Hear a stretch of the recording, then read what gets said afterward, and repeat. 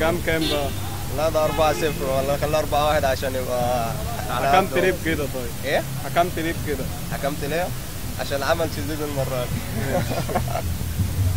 الاهلي إن شاء الله هتفوز بالتنشيط هنكسب إن شاء الله. وحضرتك؟ الأهلي هيكسب مرتضى منصور يوفر الجول.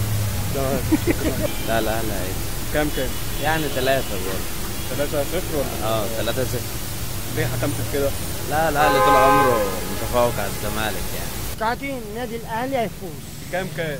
هيفوز 3 0 بإذن الله. 3 0 إن شاء الله الأهلي هيكسب. كام كام؟ 2 0 كام؟ شكرا. توقعاتي إن شاء الله الأهلي يكسب. كام كام؟ واحد صفر. وحضرتك 2 0 الامريكاني ليه بس؟ توقع إيه. 2 0 الزمالك 2 0 للزمالك. قول إن شاء الله. يا رب. الأهلي طبعا غصب عن أي كام حاجة. مثلا؟ نقول مثلا خمسة خمسة. خمسة ماشي. آه. توقعاتك للماتش إيه؟ 2 1 إن شاء الله للأهلي. 2 1 للأهلي؟ آه. شكرا يا حاج. أنت زملكاوي ولا إيه؟ لا أنا أهلاوي. أيوه كده. الأهلي طبعا هيكسب مش محتاجة يعني. يعني ممكن نقول minimum مثلا 3 1 minimum زملكاوي صحيح بس إن شاء الله خير يعني. مش هتتكرر تاني أنا ما أعتقدش إنه يكون مدرب بالخبرة دي في نادي الزمالك.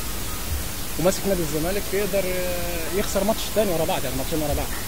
صعب إيه. رأيك في حتة إن مرتضى منصور عمل سحر والكلام ده؟ ده كلام فاضي كلام شعوذة ملوش أي قيمة يعني. هي مجرد آه، فرقعات إعلامية كده وخلاص يعني. مثلا 2 للأهلي. آه الزمالك 2 1 مع اني اهلاوي على فكرة. يعني أنا طب اهلاوي ليه بتقول